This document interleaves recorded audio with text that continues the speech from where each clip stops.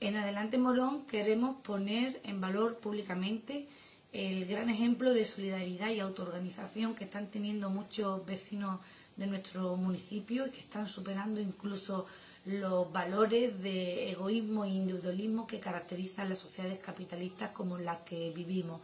Hablamos concretamente de todos esos vecinos y vecinas que han puesto sus pequeños talleres y sus máquinas particulares a producir batas, a producir mascarillas, a producir pantallas protectoras, no solo para cubrir las necesidades de los vecinos y vecinas de Morón, sino incluso que se han puesto a disposición del Gobierno central para ayudar a resolver la crisis de falta de suministros básicos sanitarios que estamos viviendo en estos momentos como consecuencia de tantos años de recorte de la sanidad pública y como consecuencia de tantos años de desmantelamiento del sistema productivo español. Hablamos también de todos esos vecinos y vecinas que están poniendo sus conocimientos al servicio de los demás, como por ejemplo el equipo de técnicos y técnicas y de abogados y abogadas que en estos momentos están prestando asesoramiento gratuito a todos los vecinos y vecinas que los necesitamos para conocer nuestros derechos, para conocer eh, cómo podemos solicitar las medidas protectoras del, gobierno central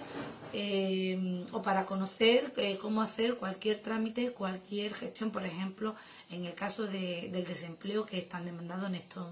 momentos. También hablamos de los vecinos y vecinas que voluntariamente están en las redes volcando información veraz eh, e información eh, que viene directamente de las autoridades políticas y sanitarias para que el resto de vecinos estemos bien informados, sepamos cómo actuar en cada momento, sepamos cómo prevenir, eh, tomar medidas de prevención y sepamos también pues cuáles son los derechos que tenemos como trabajadores y por supuesto lo que decía antes, las medidas cuáles son las medidas, como las podemos también solicitar, las medidas que nos protegen en este momento para que nadie se quede detrás y para que nadie se quede desamparado. Y por supuesto también a todos esos vecinos y vecinas que están pendientes de sus vecinos,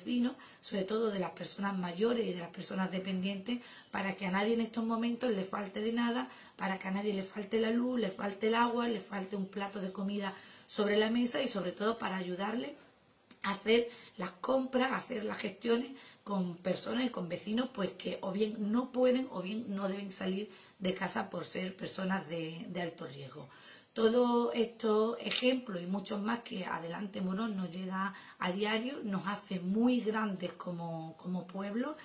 eh, nos hacen muy grandes como pueblo y hacen realidad aquello que dijo el Che hace mucho tiempo, y es que la solidaridad no es solo dar lo que a uno le sobra, sino compartir lo que se tiene. Y además lo estamos haciendo desde la autoorganización, lo cual nos hace todavía mucho más grande y está demostrando que el pueblo de Morón en situaciones difíciles se autoprotege y que solamente el pueblo defiende al pueblo.